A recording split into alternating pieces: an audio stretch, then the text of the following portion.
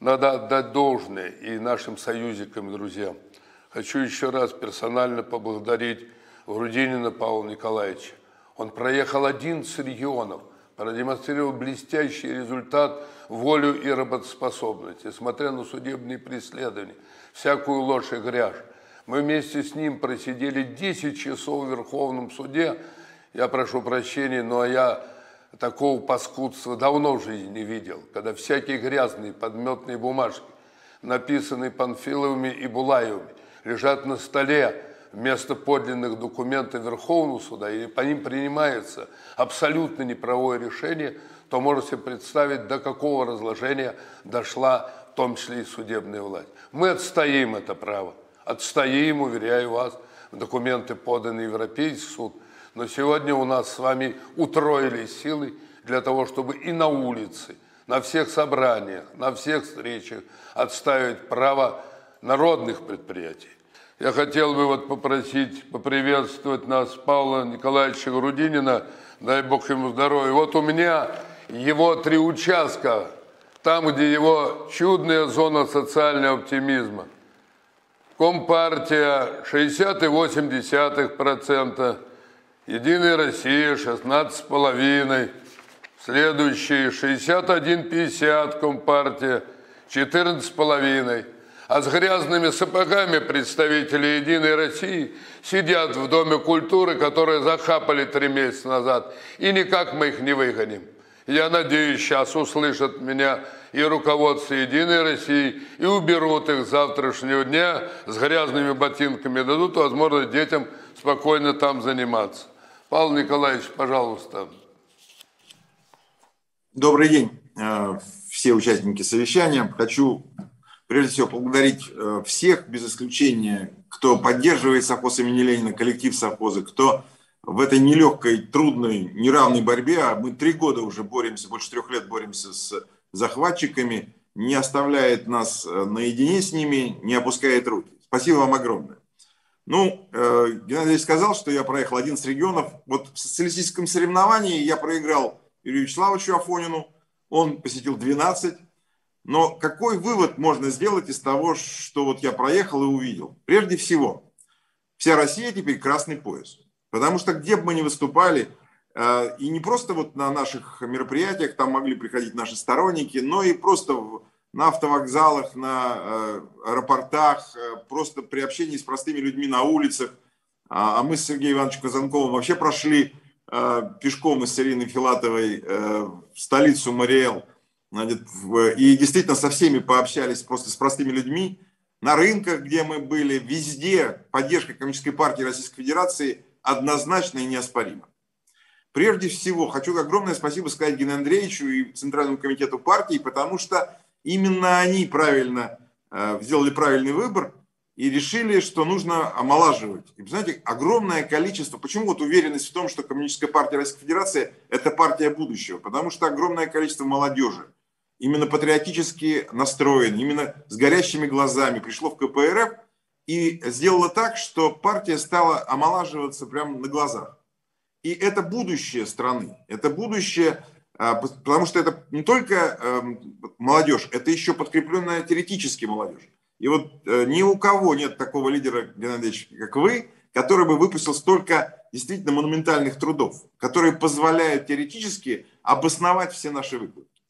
И ни одного нет человека, который бы поддерживал партию власти, потому что все против пенсионной реформы, все против этого безденежного и безвластия, все против того, чтобы Россия скатывалась вниз в экономический хаос.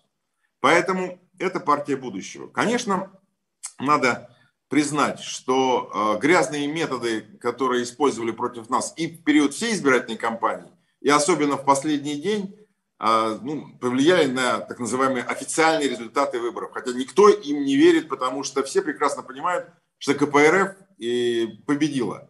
Победила в неравной борьбе. И если бы вот посмотреть на те результаты, которые без фальсификации в последний день э, выложили, учитывая то, что и поменялись их пакеты, и надомное голосование, а я знаю, э, как вот Арнаева, 600 человек за, э, проголосовало значит, надомно, это значит по минуте даже, если на одного надомника на одном избирательном участке, так это нужно 10 часов голосовать. Председатель комиссии сбежал просто. Значит, и вот эти все примеры говорят только об одном. Им не удалось ничего. И даже если бы не было вот этого а, последнего дня и в массовых классификаций и вбросов, мы бы победили в любом случае. Это показатель, в том числе и Ленинского района, в котором а, ну, они сделали все за эти там, 17-18 числа, но все равно не смогли победить, и наши кандидаты, и наша партия победила с большим перевесом. Я хочу поблагодарить еще и аппарат. Конечно, я себя почувствовал в поездках как человек, которого все время э, оберегают. И вот очень интересная последняя ситуация была, когда мы возвращались из Крыма, Евгений Марченко был со мной, мы уже пол второго ночи вышли из аэропорта, подбегает человек, и Марченко так напрягся, думал, что он нападать собирается. А он подбежал и говорит, слушайте, дайте сфотографироваться с вами. Я хоть из Росгвардии, но за вас. И огромное количество людей, действительно, причем и бюджетников, голосовало за нас, но их заставили голосовать заранее, чтобы потом подменить их голоса. И мы видели сегодня на видео, как сейф-пакеты меняются, и, соответственно, украдены голоса у КПРФ однозначно. Потому что нет, к сожалению, в России больше политической силы, кроме КПРФ, которая бы консолидировала всех людей, которые хотят лучшего нашей стране. Я хочу огромное спасибо сказать Николаю Бондаренко, который показал в Саратове действительно, какая у него поддержка, и какой провели мы митинг с ним, и как его действительно люди любят и поддерживают. И понятно, что власть ничего не смогла сделать, она просто в наглую фальсифицировала выборы, и э, наши э, саратовские друзья оказались в таком положении, и Анидалов, и Алимова, и Николай, в котором видно сразу, что люди за них, но партия э, власти просто в наглую украла у них победу. Я хочу поблагодарить всех коммунистов, потому что, слушайте, в таких условиях, когда против тебя все, полиция, суды, правоохранительные органы, любые, значит, избирательные комиссии, мы все выстояли и, как бы это сказать, показали всему народу России, что есть такая партия, которая может вывести страну из кризиса, которая может, учитывая нашу идеологию, сделать так, что действительно вся жизнь в России станет территорией социального оптимизма, как в совхозе имени Ленина. Я благодарен, Геннадий Андреевич, вам, Центральному комитету партии, всем нашим коммунистам за то, что мы с вами показали всему миру, что социализм жив, что наши идеи, если они победят, сделают действительно нашу страну великой державой. Спасибо. Павел, Павел Николаевич, э, вашему коллективу удачи и успехов. Мы, кстати, начинали творческую часть со встречи с лидерами народных предприятий, которые провели в этом уникальном нашем хозяйстве совхозе имени Ленина. Посмотрите фильм, как это все происходило. Ведь это прекрасные перспективы для всей страны.